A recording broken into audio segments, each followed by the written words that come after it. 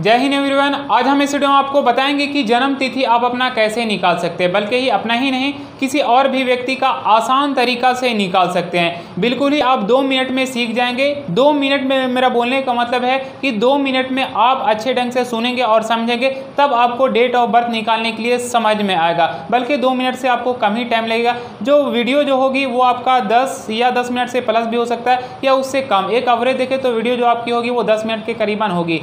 लेकिन जो main topic और मेन कॉन्सेप्ट समझने के लिए आपको दो से तीन मिनट लग जाएँगे। तो चलिए समझते हैं कि इस वीडियो में आप अपना जन्म तिथि कैसे निकाल सकते हैं? मेरा बोलने का मतलब है कि कोई भी व्यक्ति का जन्म तिथि होता है, जैसे सपोज़ दैट एक एक मान लेते हैं, यहाँ पे दो डेट ऑफ़ बर्थ ऑलरेडी पहले किसी व्यक्ति का लिख लिया या किसी व्यक्ति का नहीं, ऐसी एग्ज़ाम्पल के लिए मैं यहाँ पे आपको बता रहा हूँ। मान लिया जाए किसी व्यक्ति का जन्म तिथि है उन्नीस छः उन्नीस सौ संतानवे ठीक है? तो उन्नीस छः उन्नीस सौ संतानवे वाला व्यक्ति का आज कितना दिन होगा, कितना महीना होगा और कितना साल होगा? इसी को बोलते हैं जन्म तिथि निकालना।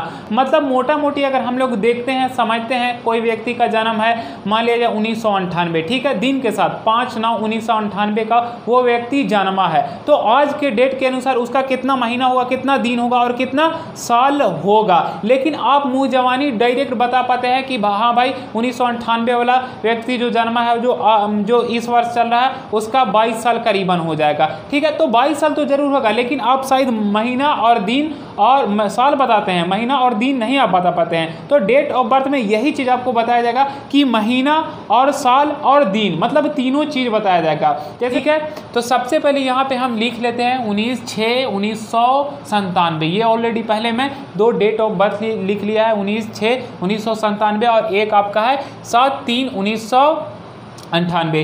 तो चलिए ठीक है, ये दोनों व्यक्ति का एक एक करके देखते हैं कि आज के डेट यानी 17 मई 2021 के दिन उन्नीस छः उन्नीस वाला व्यक्ति जो जन्मा है, उसका कितना दिन होगा, कितना महीना होगा और कितना साल होगा, वैसे ही इसका भी डेट ऑफ़ बर्थ निकालेंगे। लेकिन ये दोनों जो क्वेश्चन है, वो थोड़ी डिफरेंस है। तो डिफरेंस मैं, इसलिए मैं जानबूझ कर लिखा हूँ, ताकि ये इस टाइप के क्वेश्चन से आप बुझाएँगे, जाएँगे तो आप किसी भी और कहीं पर भी आसानी से सोल्यूशन कर सकते हैं। देखिए, सबसे पहले आज डेट ऑफ़ बर्थ निकालने के लिए आज का डेट यहाँ पे लिखना पड़ेगा। तो ठीक है भाई, आज कितना तारीख है? आज आपका हो गया सत्रह पाँच दो हज़ार इक्कीस। ठीक है, सत्रह मई दो हज़ार इक्कीस। तो ठीक है तो ये मैं एग्ज़ाम्पल के लिए ऑलरेडी पहले मैं दो लिख लिया हूँ तो सबसे पहले इसका मैं लिखता हूँ। लेकिन उससे पहले मैं आपको बता दूँ कि यहाँ पे सत्रह क्या है? ये दिन होता है। ठीक है, और ये क्या होता है?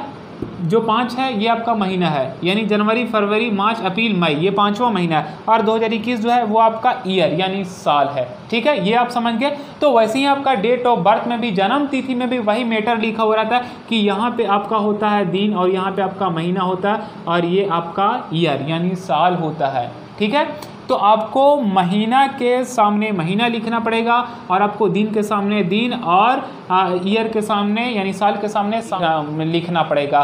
सामने कहने का मतलब है कि इसके नीचे लिखना पड़ेगा, ठीक है? तो यहाँ पे सबसे पहले इस व्यक्ति का जन्म तिथि निकालना है, उन्नीस छः उन्नीस सौ संतानवे वाला व्यक्ति का। तो आज का डेट लिखना पड़ेगा जन्म तिथि निकालने के लिए। तो आज कितना हो गया? सत्रह पाँच दो हज़ार इक्कीस। ठीक है भैया यहाँ सत्रह पाँच दो हज़ार इक्कीस मैं लिख दिया।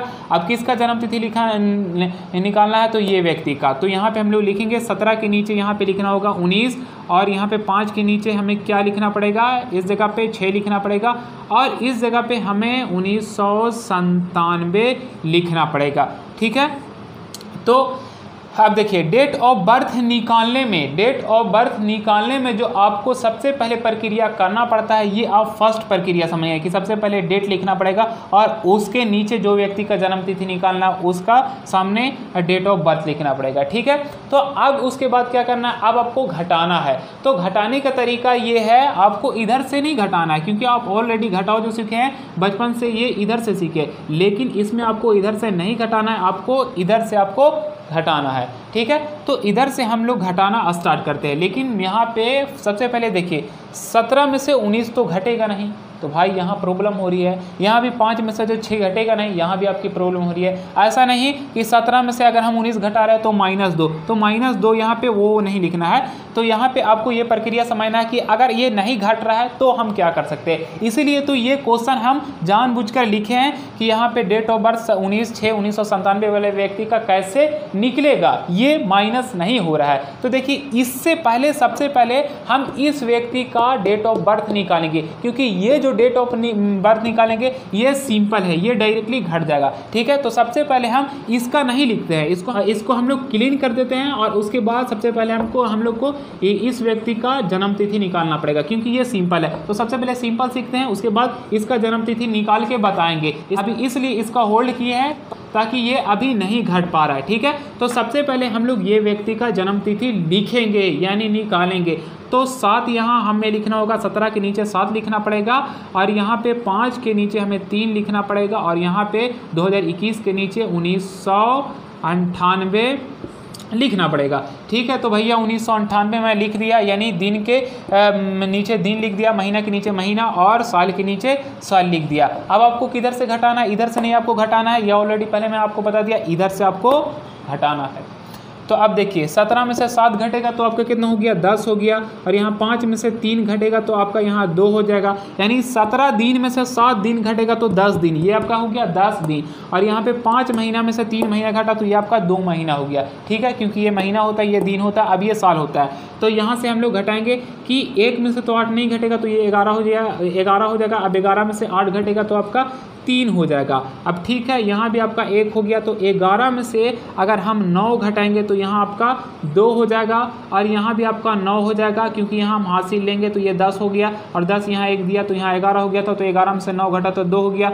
अब यहाँ पर आपका कितना हो गया? नौ। तो नौ में से नौ घटेगा तो आपका हो जाएगा ज़ीरो हो जाएगा और यहाँ पर भी देख सकते हैं कि आपका एक हो जाएगा, क्योंकि ये एक इधर हम लोग हासिल दिए थे तो एक में से एक घटेगा तो आपका ज़ीरो हो जाएगा। तो ठीक है, यहाँ पे आपका कितना हो गया? ये आपका दस दिन हुआ। ये आपका दस दिन और ये आपका हुआ दो महीना। दो महीना और ये आपका हुआ तेईस साल। तेईस साल। यानी कहने का मतलब है कि जो व्यक्ति का जन्म हुआ था सात तीन उन्नीस सौ अंठानवे का, उसका आज हो गया है दस दिन दो महीना तेईस साल।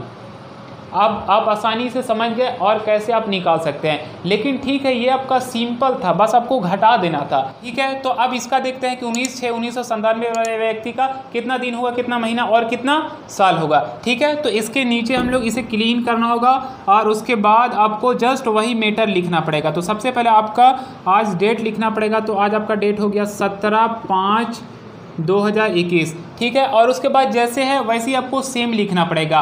लेगा चलिए ठीक है, अब उसके बाद इसे इसे क्या करना है? घटाना है। तो मेटर यहाँ पे यही फंस रहा था कि भैया ये घट नहीं रहा था। तो घटेगा कैसे? ये भी घटेगा। ठीक है? तो घटने का ये उपाय है, ठीक है, ये दिन होता है, ये महीना और ये साल होता है। तो सत्रह में से उन्नीस नहीं घट रहा है। यानी सत्रह दिन में से उन्नीस नहीं घट रहा है। और घटेगा मैं नहीं, क्योंकि सत्रह में से कैसे उन्नीस घट रहा है? भाई, ये कम है, ये ज़्यादा है। ठीक है? तो अब यहाँ पे देखिए, ये पाँच महीना है। तो पाँच महीना को, पाँच महीना में से अगर हम एक महीना इधर दे दे तो कोई दिक्कत नहीं है, कोई परेशानी नहीं है। ठीक है? क्योंकि हम हासिल ले सकते हैं अगला व्यक्ति से। ये हम लोग घटाओ, जोड़ घटाओ में सीख चुके हैं। ठीक है? तो यहाँ पे ये पाँच महीना है। अब पाँच महीना में से सत्रह दिन वाला को एक महीना लेना है। कहने का मतलब है कि पाँच महीना में से अगर हम एक महीना निकाल दे तो एक महीना मतलब कितना दिन? आपका तीस दिन हो गया। तो यहाँ पे आपका चार महीना हो गया। यानी यहाँ पे आप जो लिखे, इधर जो आप हासिल लिए, वो एक महीना लिए हैं। यहाँ पे आप चार महीना गया? अब आपका यहाँ पे कितना हो गया? एक महीना हो गया। तो ठीक है भैया एक महीना मतलब कितना दिन? तीस दिन। तो एक महीना मैंने तीस दिन। और ये ऑलरेडी पहले दिन है तो यहाँ पे सत्रह दिन है और सत्रह और यहाँ पे तीस अगर हम ऐड करें तो यहाँ पे सैंतालीस हो गया। तो अब यहाँ पे कितना हो गया? सैंतालीस दिन हो गया। ई ना कि सत्रह दिन। तो सैंतालीस में से उन्नीस घटाना है तो सत्रह हो जाएगा तो सत्रह में से नौ घटेगा तो आठ हो जाएगा। यहाँ आपका तीन में से एक घटेगा तो आपका हो गया दो हो गया। ठीक है? तो यहाँ पे आपका अट्ठाईस दिन हो गया। अब उसके बाद यहाँ देखिए, चार है। यहाँ पे चार महीना है, ये नहीं कि पाँच महीना है, क्योंकि यहाँ पे पाँच था, लेकिन इधर नहीं घट रहा था, इसीलिए तो यहाँ पे दे दिया एक महीना तो यहाँ पे चार महीना हो गया। ठीक है तो यहाँ पे चार महीने में से छः महीने नहीं घटेगा तो इसका भी उपाय है इसका ये उपाय है कि हम साल में से एक साल में से हम हासिल ले लेंगे। यानी इधर जो 2021 है और 2021 इधर एक साल दे देगा तो यहाँ पे 2020 हो जाएगा। इसलिए देगा क्योंकि इधर घट नहीं रहा। तो ठीक है, यहाँ पे 2021 है तो यहाँ पे 2020 हो जाएगा क्योंकि इधर एक हासिल दे दिया, एक साल हासिल दे दिया। तो एक साल हासिल कहने का मतलब है बारह महीना। ठीक है? बारह महीना। बारह महीना इसलिए बोल रहे हैं क्योंकि महीना हासिल ले रहा। है अगर दिन लेता तो वहाँ पे कन्वर्ट कर देता कि तीन सौ पैंसठ दिन। समझ में आ रहा है? क्योंकि यहाँ पे हम लोग जो ले रहे हैं, वो महीना का हासिल ले रहे हैं। ई ना कि दिन का हासिल ले रहे हैं। महीना वाला में हम लोग हासिल ले रहे हैं। किससे? तो साल से। तो एक साल में से हम लोग एक साल ले रहे हैं। तो एक साल में कितना होता है महीना? बारह महीना होता है। और ऑलरेडी पहले यहाँ पे कितना महीना है? चार महीना। तो बारह और चार कितना महीना हो गया? सोलह महीना होगा। मतलब यहाँ पे चार को हटा के डायरेक्टली यहाँ पे सोलह समझ सकते हैं। तो सोलह में से अगर छः घटेगा तो आपका दस हो जाएगा। अब यहाँ पे यहाँ पे घटाना है। यहाँ पे आपका दो हज़ार बीस हो गया। ठीक है? तो दो में से हमें घटाना उन्नीस तो ज़ीरो में से तो सात घटेगा नहीं। यहाँ दस हो जाएगा, दस में से सात घटेगा तो तीन हो जाएगा। और यहाँ पे आपका कितना हो गया?